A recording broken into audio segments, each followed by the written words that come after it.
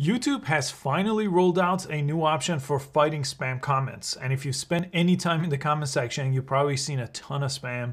On my main channel, I get hundreds of spams per day. So I started using this about four days ago and it seems to be helping. So I wanted to show you this new setting.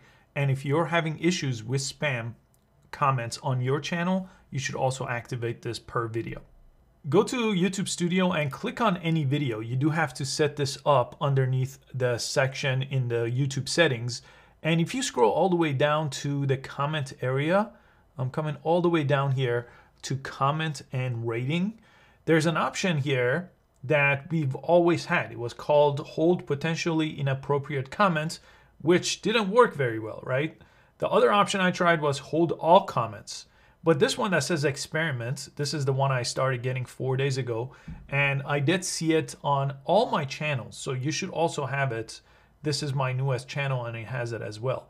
It says increased strictness. So you could activate this and make sure you go up here and press save because it won't save otherwise. I'm gonna go ahead and press save. And if you wanna try this for your whole channel, I did find the same option inside of settings too, channel wide. Let me show you that too.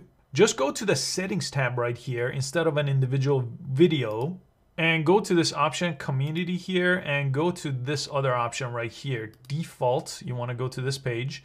And again I have it to hold potentially inappropriate comments for review and I'm gonna go ahead and turn this on here as well. Then you could save it and that will apply it to all your videos if you just don't want to take the time to do this one video at a time and I'm testing this out across three different channels right now, so I'll try to make an updated video after a few weeks to show you how this is going, but you should try this for yourself and let me know in the comment section if it has reduced spam comments on your channel.